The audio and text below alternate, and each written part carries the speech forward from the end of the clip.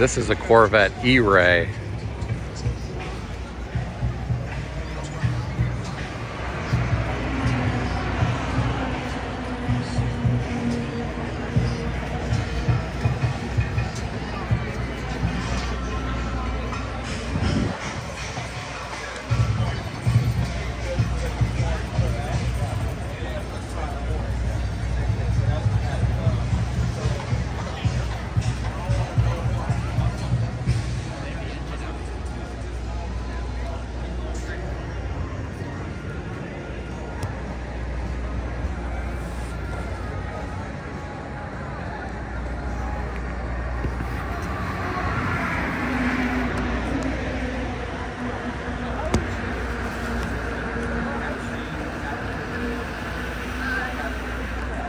Here's our guy.